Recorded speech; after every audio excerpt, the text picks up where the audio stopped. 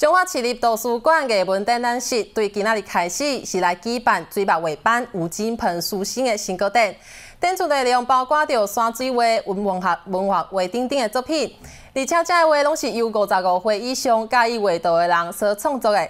虽然讲年纪是拢超过五十岁以上，不过大家也是真有创作力。嘛，欢迎大家前往来欣赏。艺术是无分年龄阶层，只要困哦，其实大家拢会使进入书的世界，而且透过经验累积，伫艺术之路有所成长。吴金鹏老师讲，经过一段时间的摸索甲学习，技巧渐渐啊进步以后，画画甲胶只需要少数几笔，就会使画出一百那亲像真诶共款的作品。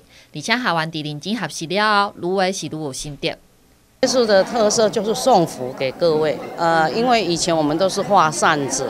那后来学生跟我讲说，老师，我们为什么不送福？后来我就想到说，哦，有葫芦哈，我们就葫来来画葫芦送福给大家，因为又是接近过年嘛，哎，送福给各位，呃，给所有的亲朋好友，这个就是我们的理念。因为这个画展是相当的难得，所以启公所主任秘书张台玲欢迎大家踊跃前往欣赏。水墨画班哈的成员。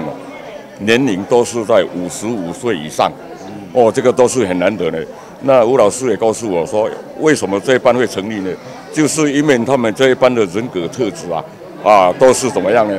有创造，有理念，喜欢画画。所以吴老师这么简单呢，他给他组成了一班呐，啊，这一班里面哈，哦，真的哦，你刚才可以看到哦，他们的学院里面呢，当场挥毫，啊。除了当场绘画写春联以外呢，还有啊有一个作品叫做“买的葫那个葫芦啦，花虎啊”，哦，咱大人就讲吼，这种都是吉吉祥的一个东西嘛。伫过几天都是旧历春节，伫今日开幕典礼中，除了展览画之外，也阁有应景送福葫芦以及春联，给大家，同时伫现场来消磨比例大赠送。